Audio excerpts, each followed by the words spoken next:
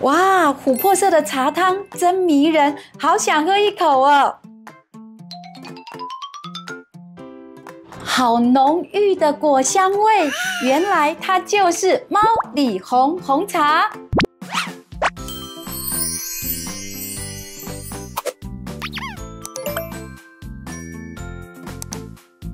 甜美女奉茶时刻的好朋友们，大家好！跟着甜美女的脚步，See the beauty, see the good。我们都知道，饮茶文化是华人的骄傲。一杯好茶不仅可以让人心旷神怡，更可以长保康健。俗话说，一年茶。三年药，七年宝，可见茶是多么多么的珍贵啊！今天甜美女要带大家来到我们苗栗县的竹南镇，来拜访一位茶仙子，那就是我们名友茶庄的负责人黄秀琪小姐。秀琪好。甜美女好，甜美女的观众大家好。哇，秀琪，我觉得你的爸爸呢，帮你取了一个真好的名字哈，你真的看起来呢，非常的秀气哦。而且呢，我们知道呢，你可是在苗栗上呢，呃，真的是响叮当的哦，在这个制茶业里面呢，也是一位充满传奇的奇女子，对不对？呃，因为从小跟着父辈，呃，在山里面种茶，那又开茶工厂，所以我们跟着他的脚步呢，就是往前走。所以，呃，一直到今天，对，为什么会说秀琪是一个奇女子？我们知道哦，做茶哦，在以前呢，其实它的这个不是这么发达的时候呢，哦，宝宝弄喜爱用丢咱的栏杆哦。那我们知道做茶其实很出众哎，照理说呢，做茶一般来讲都是扎波郎来扛亏。那为什么会你家里是你来哦承接这个副业呢？你有哥哥姐姐吗？有，我上面有两个姐姐。还有两个哥哥啊，我是呃老五，就是人家讲的蛮嗯啊妖女哇，那就更人家觉得好奇了，为什么呢？没有传给哥哥，然后呢传给女儿，传给这个妖女呢？为什么呢？因为哥哥姐姐他们有找到了适合的工作了，那剩下我留在家里，那想看爸爸那么辛苦。一辈子的奉献，一辈子的耕耘，到现在少有一点点的成果呢，那放掉很可惜。所以呢，我一头就栽栽进去，试试看自己行不行。其实那时候也真的没有准备。哇，那哎，我们也知道哦，你刚刚有分享说，其实你从七岁耶，七岁就开始哦，看爸爸怎么样的制茶，跟在身边就对。七岁才读小学一年级哎，从采茶、种茶，然后一直到制茶，一条龙。哇，跟着你的爸爸怎么样来栽种这个茶，然后呢，再到怎么样把这个茶呢，一个一个工序，一个一个环节这样，然后呢，哇，制造出来一个非常棒的茶啊，这可能就是你从小的耳濡目染，让你对茶也产生了感情，对不对？是的，呃，当你喝到一杯好茶的时候，你所有的辛苦都会忘却，因为茶入口是苦，然后是回甘。然后那个过程就会让感觉现在的我的心情就是觉得啊，真的就像人生一样，先苦后甘。真的就像在倒吃甘蔗哦，你可能回想到你小时候，可能大家放学呢，可能都去玩啊。像我们那个时候呢，哎，我们可能就是踢毽子啊，然后跳房子啊，跳格子啊。那你可能就要在家里帮忙哦，开始怎么样子的来看到大人怎么样开始哦，就是一个环节一个环节的来做茶，因为你要学嘛，对不对？是。呃，那时候不能讲学，是靠山吃山，靠海吃海。那我们是呃一定要去做的，那个是工作。那个就是我们的饭碗。那放学回家，第一个书包一丢，你就要去采茶。茶采回来呢，我们还有工厂就要制茶啊，一直到凌晨把茶叶完成了，我们才可以休息的。应该说，这个就是呃农活哦，就等于就是说，不管你喜不喜欢，那家里既然是这样，可能呢从小呢就要帮家里，哎，可能年纪小做一点，年纪越来越大时候就越做越多了，就对了。对，当你能力越来越多的时候，是整场包了。嗯，不过那时候说实在的，要下这个决定也不容易啦。毕竟女孩子嘛，我们都会想要往大都会去假套路啊。好，那哎打扮的漂漂亮亮啊。你知道做茶，它除了很辛苦，你可能常常也不能穿漂亮的衣服，对不对？得打走西尊呐，哈，得打出的西尊。那时候听说哦，呃，有时候每一个这样子的呃环节，一环扣一环，听说在炒茶的时候呢，整个晚上都不能睡觉哦。对，呃，从采完。它的工序就开始了，就制造。制造这个过程是把它制造成一泡啊，就像这个茶焙干以后才能休息的，所以大部分呃一般来讲都在凌晨两三点甚至天亮。哇，听起来真的太佩服我们秀琪了哈！我们知道秀琪呢，从小就生长在苗栗嘛。那苗栗有一个呢非常特殊的，呃，我也常听说，就是有一个独特的红茶，叫做猫里红啊，真的猫里红。但是呢，这个名字很特殊哦。那为什么它会取名叫猫里红？我相信一定有它的典故，对不对？那秀琪要不要赶快来跟我们分享一下？讲到猫里这两个字哈，是有一段故事的，在一千多年前。呃，原住民还在这个平地的时候呢，他就把苗栗这个地方叫道塔斯族。哦，嗯那因为道原住民的发音叫妈里妈里。哦，所以说这个道塔斯族，他用原住民呃来他的发音就叫做妈里妈里。然后呃，我们闽南族和客家人呢，听到妈里妈里妈里听久了呢，就猫里猫里猫里，就是苗栗的一个称呼。哦，所以说也因为这样子得名而来，叫猫里红就对了。哇，真的好美的名字哈！好，那我们现在是不是迫不及待？我真的迫不及待，很想来试试看哦。这个猫里红的红茶到底是什么滋味呢？好，来试试看。对，真的。嗯，哇，它有一种呃很独特的，好像。呃，这个花果香味对不对？熟果香是是啊，它的滋味非常的甜，然后带甘，没有错。对，那入喉又不苦不涩啊，非常的好入喉。而且一喝一口下去，真的整个头脑都变清晰哇，真的耶！哦，所以这个就是真的是，呃，人家说品一口香茗，就让你好像神意。对，没有错哈。好，那我们知道说，原来这个猫里红呢，就是我们呃苗栗的最早的起源哈。那通常猫里红它的产季呢，猫里红的产季是在每年的夏季，芒种到端午呃过后十天大暑这个时间来产。呃，它是它的产季，它一年只有一季而已哦。哦，所以说很珍贵耶。是，呃，别的季节它就没有做出这种风味了，就不会有这样子的独特的风味了，就对了。对对。哦，所以有时候我觉得我们要能够喝到好茶，有时候呢，真的还要天时地利人和，缺一不可呢。好，那我们刚刚其实有看到哦，这个猫里红它的色泽。非常的漂亮哦，它非常的呃漂亮，就是它带有那个深琥珀色，啊，颜色非常的鲜明，对，非常清澈，而且呢，它的口感呢真的相当好，赶快要再来喝一下。完全不苦不涩哦，而且其实这个茶它已经有点凉掉了，但是其他那个就是说果香味呢还是非常的浓郁哈。是是哇，真的很棒。这个茶呢不要热热喝，你微温的喝，它的口感更浓郁更好。哇，所以呢，今天观众朋友就会知道了，原来呢喝这个猫里红红茶呢，它也是有 make up 的哦。好，就是说微温的时候喝呢，刚好是它风味最棒的时候。是的。秀琪，我们刚刚品尝了这个猫里红红茶呢，真的，一喝就爱上它了哈。但是我们知道，其实呢，呃，在台湾有很多品种的好茶。那接下来你要给我们推荐的是哪一款好茶呢？东方美人茶，我也非常喜欢东方美人茶，因为呢，据说呢，不美的人喝了都会变美，对不对？这是一定的。好，那一定要天天喝喽。好，那也来跟我们分享。其实我们应该对东方美人茶这个名字呢耳熟能详哦。而且我们知道，其实呢，在国际上呢，很多这些外国人呢，他只要问他说台湾的茶，他就知道两种，一种就是知道我们的乌龙茶，一种就会知道我们的东方美人茶。那也来跟我们聊一聊呢，东方美人茶它的特色好吗？东方美人茶呢，它是一个呃无农害的，就是没有喷农药，呃。我们讲生态共生，它是有小叶绿茶叮咬过、叮食过后的茶芽，它才能够做出这样的卓盐味，就是果蜜香。那在这之前呢，呃，它不叫东方美人茶，它那管叫什么茶？呃，叫福寿茶。哦，那为什么会从福寿茶又变成东方美人茶呢？这个是都有一个故事哈。它也不叫，也后来也不叫福寿茶，又有叫新的名字叫碰红的。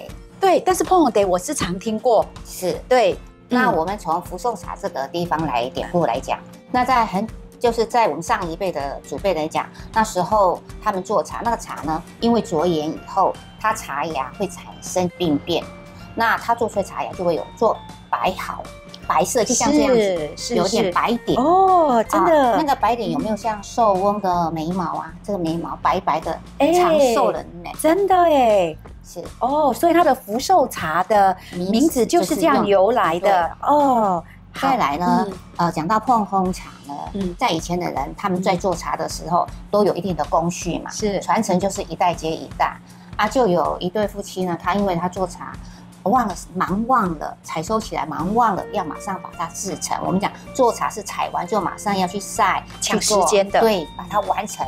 但是因为他忙忘了这个茶采回来，哦，摆在一边忘了去做。等他想到的时候，完了，我的茶完了。可是没有做不行呐、好我们是靠这个吃饭呐、他就照照原来的工序去做，原来做出来味道哇，竟然别有一番风味它，不但一番风味，他拿到台北大道城去卖的时候，也卖的很好的价钱。真的耶哇，这耶！今天的味道又不一样。我在讲说为什么会不一样。以前我们做茶是做那个中发酵茶，那个嗯百分之五十左右的发酵啊，那时候是在等成品。那因为它这个发酵过度了，变成七十五趴左右了。是那因为发酵过度，跟原来我们做茶的习性的味道不一样了，是，所以他又能够卖个好价钱，大家就他回来说，我这泡茶今天卖的非常好的价钱，大家说你碰空，哦，原来碰红得的由来就是这样子哦。反倒因为它的就把它新插柳柳对无心插柳柳成荫，没有想到它因为一个失误，对，变成呢还有一个创造了一个新的，新的一个品相、新的风味出来了。嗯嗯嗯嗯，那这个茶呢，当然呃嗯，在我那个年代呢，很多都是呃很资深的那个大老板的爸爸，他们都会喝，因为没有喷农药，对。他们最喜欢的。嗯。安全。对，哦。可以安全。嗯。然后再来就是那时候在我们呃英国商人，他对来采购的时候，哎，他来哎东方有一个茶，他喝了，因为英国人喝红茶嘛，是他对对加糖嘛，他喝到台湾的茶不用加糖，嗯就是这么的甘甜，对，对好喝。然后他就带回去了，嗯那他他就进贡给那个英国的女女王王维多利亚女王。是那维多利亚女王喝到这个茶时，她非常的惊艳，而且这个茶汤泡出来的颜色又非常好看。那个茶的茶叶叶面呢，就像呃东方的美女一样，那婀娜多姿，小小朵卷曲卷曲的是啊。他就说：“哎，这个茶真的很好喝。”他就问那个医生说：“这个是什么茶呀？”他说：“我东方买回来的。”哦后来英国女王就取为东方美国。哇，想到那呢，这个呢，维多利亚女王呢，真的是把这个茶的名字呢，把它取得太棒了，对不对？是嗯，所以一直到从福寿茶，再到碰红茶，到东方美人茶，其实是是同一种茶，。对。对你听懂了，你就知道好了。，那这样子呢，我们一定要用这杯茶来敬一下维多利亚女王，就是因为她取了这么美的名字呢，让我们呢喝了都变成道地的东方美人，哇，真的好棒哦！那现在来尝一尝东方美人茶它的滋味喽。好浓郁的香哦，对对。可是呢，它的茶汤颜色其实是淡淡的而已，哎，对，它淡琥珀色，晶莹剔透，然后它喝起来口感是呃、蜜香非常的浓郁对你讲到了。对，就是那个有真的蜜香，真的蜂蜜的味道很浓，然后又真的是有甜味哦。是是哇是，难怪呢，它叫东方美人茶。我觉得就像美人一样的，看起来呢非常的甜美。对不对然后喝的时候，你身体就会更健康，因为它里面多了呃茶红质跟茶黄质。嗯这个对我们人的身体来讲的话，它对心血管与血管壁的弹性非常的好。而且最主要呢，它一定是要百分之百的无农药残留的哦，就是等于说在最自然的环境下才可以做出这样的东方美人茶就对了哈。哇，今天呢，甜美女呢真的非常非常的 lucky 哦，因为呢，今天秀琪呢是用我来看一下二零一二年的耶，到现在已经有十二年了耶哈。哇，真的耶，太感谢了。这一瓶就是是我呃在嗯很多年前收藏的一瓶茶，对对嗯对，哇哦，这个茶就更了不起了，它是头等奖哎。哦，这个茶席在当时它就已经要很高的价格对了哈。。嗯，到现在可能又因为茶其实呢，它会增值的。像我们刚刚讲嘛，一年茶，三年药，七年保。像这样子的话，珍藏这么多年呢，它真的都是已经价值不菲了。是的，因为茶这种茶越放越好，而且它呃，就像都是宝了，嗯，它就是宝了。哇，真的，来，赶快再来喝一口。哇，真的喝了这个茶以后呢，感觉到呢，从里到外整个都舒畅起来了哈。对，然后你会头头脑非常的清晰，人非常的舒服。那你喝进的口感呢，那种甘甜啊，让让自己觉得哦，真的很棒。那所有的精神都回来了，哇，太棒了，思绪也非常的清楚，哇。所以呢，呃，我想观众朋友呢，今天听我们这样分享以后呢，一定要赶快来品尝一下东方美人茶的好滋味。那我们都知道呢，工欲善其事，必先利其器哦。其实呢，泡茶呢，它是有很大的学问的哦。那就是从比如它的水温呐，还有就是说茶叶量的放多少呢？还有就是用什么样的茶具呢？泡出来的茶呢，它才会把它的整个这些质感、口感都提出来哈。那秀琪是不是来教我们呢？我们泡东方美人茶跟猫里红红茶要用什么样的茶具最适合呢？东方美人茶跟猫里红茶这两种茶类呢，它最适合就是用这种瓷器，嗯，瓷器，嘿，还有这个玻璃的，哇，玻璃的有一个好处就是你在茶叶再放进去的时候，尤其东方美人茶，它那个呃茶茶叶的那个伸展，对，就像呃美人一样在水中里旋转跳舞，对，感觉到好像在跳水上芭蕾一样，哎。它是用千姿百态，是是，这两种茶壶是最适合用的，嗯，泡水茶的风味是最好的哦。所以说，观众朋友，大家知道了吗？如果呢，今天你要泡东方美人茶还是猫里红红茶的时候呢，最佳的首选就是用我们的瓷壶，那不然就我们的玻璃壶，那更能够增添它的风味就对了。是的，嗯，好，真的非常棒哦。好，再来赶快喝一下东方美人茶。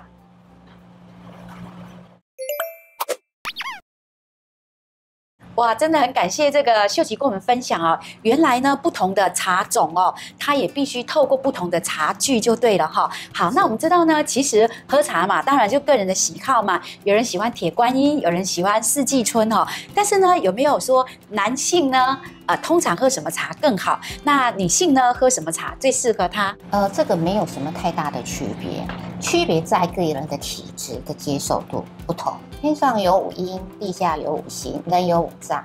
那喝茶呢？呃，每个人的体质不同，那也是对应自己的身体。那我们从金木水火土来呃做一个区别。那属金的呢，它是属于润肺肺部分，所以它喝白茶。再来木属肝，那我们的清茶类啊，还有绿茶都可以喝。那水呢是主肾，那就黑茶、普洱茶。火呢，就是呃主对我们的心啊，我们心那我们就喝红茶。土呢，对应的是我们的脾，那就喝黄茶。这样你就可以大概知道自己是适合什么样的茶。随着年龄的变化呢，其实我们喝茶也会随着身体的变化一直在啊变化。你喝的茶不是一成不变的。以前你的胃很好，现在你的胃。已经有点点呃，不那么随着年纪啦哈，来做一个调整，对对啊，这样才能够达到一个养生。嗯，好。那其实刚刚秀琪有讲了，不管是白茶啦，啊，我们知道呢，呃，还有就是说红茶，还有青茶、绿茶或是黑茶，这些我们大概都耳熟能详哈。但对黄茶呢，我比较陌生嘞。到底是黄茶是什么样子叫黄茶呢？呃，黄茶它的制造过程是呃跟一般的制造过程不一样，是它的工序不一样。啊，就是那个茶种，他们摘下来的时候呢，他没有去炒，就是把它焖焖到黄。哦，焖了一个焖黄味道的时候，他把它烘不干。啊，哦，那应该它就是会比较嫩的地方。对，它然后用焖的。对对对。然后焖的以后，它独特的味道。是是。哦，所以这个叫黄茶就对了哈。因为有些品种它必须要是这样做，它才会有那个滋味出来。